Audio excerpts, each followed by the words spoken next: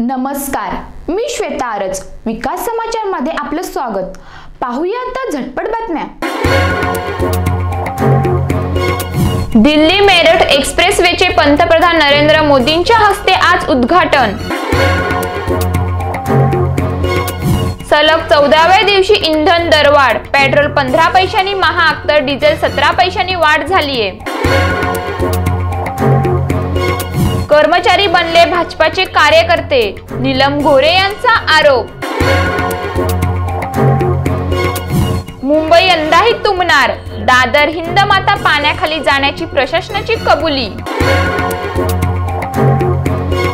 वणीत रानमेव्याची चव चाखण्यासाठी ग्राहकांची झुंबड. कोकणातील टपोरी जांभळे बाजारात. विकासाला वेग मिळाला. पंतप्रधान नरेंद्र मोदी यांचे वक्तव्य.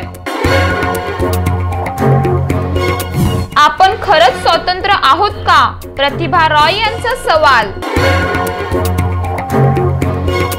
पालघर पोटनिवडणुकीसाठी जिल्हा प्रशासन सज्ज.